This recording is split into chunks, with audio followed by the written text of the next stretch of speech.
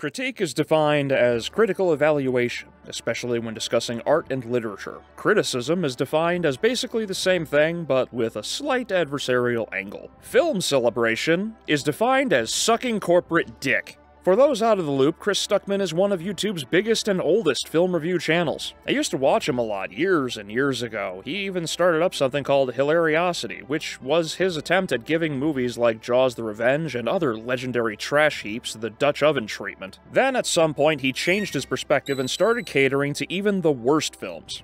Glaring issues went ignored in fear of hurting people's fifis, and the man who once stood boldly for us, the audiences, and held Hollywood accountable tried to make a movie. In the process, he learned the way to make a film is to slurp the toes of Hollywood like junior high school students did for a fundraiser. Chris basically turned into Winston at the end of 1984, and his most recent blunder was his refusal to criticize Madame Web, and the reasons behind the choice landed him in hot water. And since I haven't done a video like this since I tackled Patrick Willems' astonishingly bad take on plot holes, let's jump back into the proverbial arena and see what Chris has to say. Probably not going to do a video for this one based off of what I've heard, since I do try to keep it mostly about film celebration on this channel. Having seen the film, I'm going to tell you that this is not a movie review of Madame Web. I am not about bashing filmmakers, artists. Choosing not to review a movie you know is being eviscerated online is as much an endorsement of its quality as overtly saying it.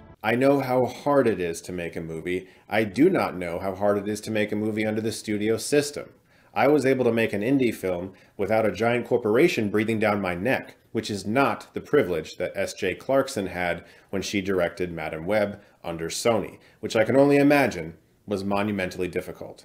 Producers cause a lot of issues given their main concern is the budget. This doesn't mean producers are always the reason a film fails, though. In fact, Clarkson herself stated she had creative freedom to do what she wanted. This isn't an issue of studio interference, quite the contrary. I argue the only reason the studio should be at fault here is that they hired Clarkson in the first place. More on this later. This is not going to be a video about Madame Web and telling you whether or not you should see Madame Web. There are plenty of people on this platform as well as a website dedicated to aggregating reviews and giving it a number that's going to inform you of that and you can choose to listen to those voices if you want. The information is out there. You mean Rotten Tomatoes? The website proven multiple times to remove reviews at the paid request of studios to falsely improve the perceived quality of their projects? Why would I ever waste my time on such a shit site? This video is inspired by essentially every live action film that Sony has had some involvement in since Spider-Man 3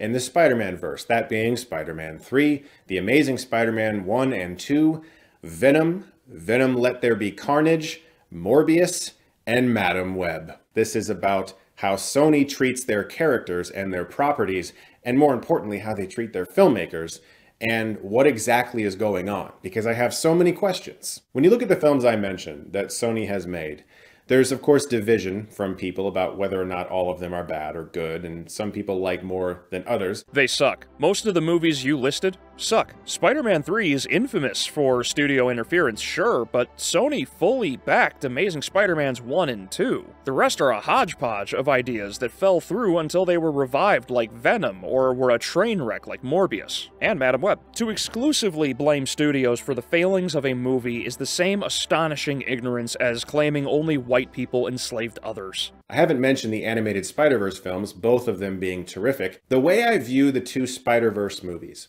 is kind of the same way I view The Invisible Man and Split and Get Out and other films that Blumhouse has produced. Because Blumhouse has produced a lot of other movies as well. But those three really do seem like, damn, where'd those come from? The Spider-Verse movies exemplify merit and confidence. The directors have all worked on Disney and DreamWorks films primarily in the art department, so they knew their tasks, with the exception of Peter Ramsey, who directed Monsters vs. Aliens and Rise of the Guardians. Combined with the writers behind the Lego movie and A Cloudy with a Chance of Meatballs 1 and 2, it makes sense Sony trusted them to make a financially successful film. Some studios have really good instincts and they can pick filmmakers and stories across the board that for the most part are going to be at least decent. I look at a studio like A24.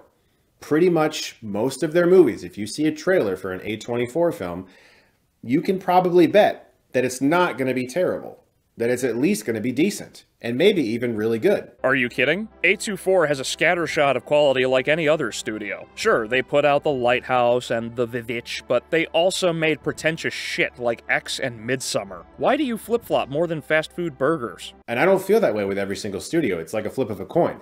You could get one of their best efforts, or you could get another one.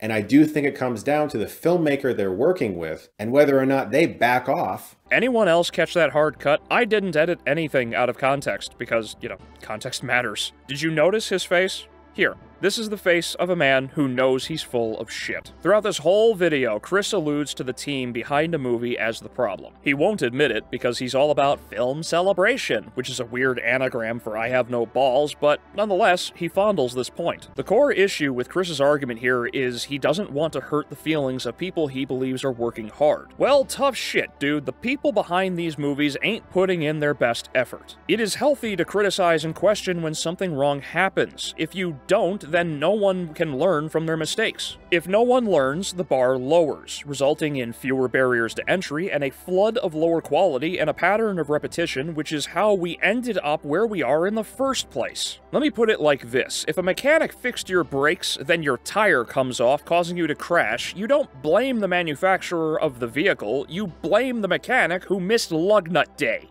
And I do think it comes down to the filmmaker they're working with and whether or not they back off and give that filmmaker the freedom they need to tell a cohesive, coherent story. That doesn't mean that every writer is going to be great. Two of the writers of Madame Web worked on another film in the Sony universe that has been heavily criticized called Morbius. But sometimes, what I've learned and what I've experienced myself, not on my film, but on scripts that I've optioned to some studios, and it went nowhere, is that when people have power over you as a creative, when they're paying your bills and they're paying you well, they can tell you to do anything and you have to do it. No matter what. No, no, you don't. You always have a choice in the matter. The argument that studios are exclusively the reason for bad writing, directing, or anything else of that nature is insane. Writers always have a choice to make the best possible script they can. Directors can always cut and reshoot a scene to get a better angle or performance. Oh, but the deadline! The budget! Yeah, how about time management and planning, or are these new concepts to most people? Yes, they matter, but the individuals who work on the project are the ones making things in the first place. If their best effort isn't on display, then why exclusively blame the studio? Sometimes that's exactly what it feels like when you're a creative dealing with a larger entity that has control over your creation or at least your script or your story or your characters. When they can tell you what to do and you got to do it, it doesn't matter if you think it's insane, you have to find a way to make it work. Sometimes pressure needs to be applied, otherwise, someone's ego can get out of hand. Suicide Squad, Terminator, Dark Fate, and to be fair, just about anything Christopher Nolan has made all suffer to some degree of ego, whether it be an entire project in the case of the former examples, or the standard I have to explain my massive brain exposition in Nolan's films. I saw Madame Web earlier today. There wasn't a single part of me that thought, wow, this is just a terrible filmmaker. I don't believe you. I could not help but see the myriad of evidence that has been laid at all of our feet that this is a studio that is simply retaining the rights to their characters that does not care about the quality of this experience they're giving us. There's been too many examples of movies that all feel kind of the same, like a mishmashed early 2000s superhero movie. They can't seem to get out of that no matter how many times we've said to this studio, we would prefer it if you went a different way. Weird how the myriad problems you claim you've seen ignores the obvious problems such as ESG and DEI that were forced onto Hollywood as far back as 2010 and has resulted in numerous people who aren't worth the water they're made out of to fail upwards. The Witcher, Castlevania, Marvel, Star Wars, Jurassic World, Velma, and DC come immediately to mind. All of the examples I listed were middling or bad, got worse over time, and or spawned something even worse as a result. George Carlin said it best, it's a big party, and we ain't invited. Currently in the industry, it's the Wild West when it comes to spec scripts especially. From what I understand, a lot of spec scripts are not even being read very rarely, in fact, unless you're a very specific kind of movie or a studio is looking for something so particular that you just so happen to be that perfect thing. From what I understand, lower budget horror is still being looked at, especially haunted house things or things that are very marketable. But in general, the industry has no idea what it's doing right now post strikes. They have no clue. Movies are selling for almost $20 million at festivals from first time filmmakers, and other movies that seem like they should be selling really big because of the names that are attached aren't. I disagree. Hollywood is reacting to factors it didn't think would bite it in the ass. To my previous point of lowering the bar and ESG, many of the actors, directors, writers, everyone involved who believed themselves untouchable were on strike in fear of AI as well as other issues such as securing more money for themselves. And where does the money come from? Us. If we don't watch the crap Hollywood smears on the screen, they don't make money, which means the studios must do what they can to avoid shutting down. Studios will be forced to rely on AI and ever cheaper talent, as has already been common practice, for as long as possible until they pull their heads out of their asses. Nobody knows exactly what's happening right now because everyone is so beholden to this algorithm or whatever Netflix is telling them people want to see. This is creating an almost robotic like dystopian conveyor belt of movies that we are essentially supposed to kneel at the very end of, open our mouth really wide and just consume, and then ask, when do we get the next conveyor belt thing that you have generated for us from your algorithm robotic AI thing, whatever that is? Agreed. Many companies make this critical error, which applies to all businesses, which I believe is a general bit of advice. Quality trumps quantity. Releasing good products in a reasonable manner and time frame is the best route. If you cheapen the product to meet ever-growing demand, you'll wear yourself out, which will have long-lasting effects, just like we're experiencing now. Because when I watched Madame Web, there wasn't a single part of me that thought a writer sat down and came up with the idea of the final fight happening underneath a giant neon Pepsi Cola sign. I just don't think a writer sat in their apartment in LA and thought, that's a good idea. Of course someone did. Hollywood is one of the only places in America besides politics where you can fail upwards. There are too many examples spewed out on a near weekly basis that this point is just disingenuous. Not to mention all of the examples I've already given. So what are my solutions for this? It's the same solution I've said for a couple years now because I've started to make more discussion based videos about the industry and how we can communicate with them and get better films and start to enjoy the theater going experience more and not just hope that a great film like Godzilla Minus One comes out of Japan so that we can enjoy that here. And it's the same thing I've always said they hear us through our wallets. If a movie comes out that is genuinely great and we happen to see it in the theater, that's fantastic. But then buy it to own on digital or buy the Blu-ray of it. Let them know like this is more like it. Yes, this has been the advice to moviegoers for many years. Only support what is actually worth supporting. The majority of what we review is garbage, despite Chris's denial, so when something good is released, it stands out that much more. It is our job to discuss movies and tell you whether or not they should be supported. This is where the frustration with Chris's view has been so loud publicly, as most people understand what Hollywood cranks out isn't worth supporting. They hear that. They understand, all right, so IP-ish, but original. Got it.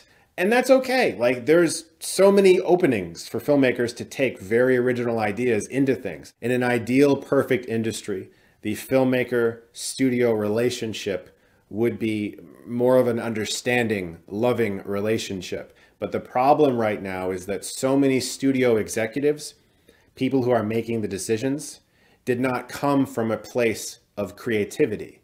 They were potentially managers or agents or people outside of the creative space in Hollywood who worked their way into a place where they're now telling creatives what to do. That's not the case for all of them, but it is the case for many of them. Yes, and this is why producers are hired to work with directors, writers, etc. However, no one can be micromanaged at all times. Plenty of studios and subsequently producers have great working relationships with the creative team behind movies that still end up as trash. Look at Blumhouse's catalog. And they don't have ideas. They just have like inklings of what the market might want. What's selling big? What's not selling big? Well, we need to go towards this path because that movie sold really big. People are looking for this. Hollywood has chased whatever is profitable for decades. This isn't new, hence why video game movies and shows are the next to be as they have been mass produced. And maybe westerns, but we'll see about that. So people have been put in positions of power who want to be creative, but aren't creative. But they're put in a position where they now have to tell creatives what to do. And that's why you're seeing a lot of these things that you're seeing in film lately. And the hopes are that more filmmakers are able to break through with like an indie film. Look at Nolan. He was able to kind of prove himself. He took those steps you know what I mean? Hiring green talent has been a common strategy for God knows how long as a preemptive cost cutting measure. If an indie filmmaker like Josh Trank knocks it out of the park with something like Chronicle, then the risk to reward ratio is paid off in spades. Not all filmmakers are good enough to flip something like Chronicle around and often fail because they aren't good at their job. S.J. Clarkson was given a major opportunity with Madame Web just like Josh Trank was with Fant and bumbled it just as spectacularly with far less studio interference all in all, like so many others, I, I'm frustrated by this take on Hollywood because Chris is close to understanding the core problems, but gets in his own way because he doesn't want to admit that people he supports aren't good at what they do. As I've said before, it is good and healthy to point out flaws or issues because without honesty and observation, no one can grow. You can't solely blame the studio for the poor quality of a movie. That's like holding a car company accountable for a drunk driver. Are we to let Zack Snyder off the hook for Batman v Superman? Must we apologize to Rian Johnson for our criticizing The Last Jedi? That's insane. Some people are not cut out for the things they want to do. It's all right to admit Madame Web sucks. It's okay to admit S.J. Clarkson isn't a good filmmaker. At least right now. She could blow us all away with a future project, sure, but Madame Web currently is a reflection of her skills which aren't good. Your brazen support of those who do a bad job is part of the reason we're all in this current predicament. Barring, of course, other criticisms such as those that have fundamentally and legislatively changed the entertainment landscape, of course. Until you and others who share your view realize and accept that, then it is you who will ensure that we all stay in this entertainment dark age. Anyway, thanks for watching, and I'll see you in the next video.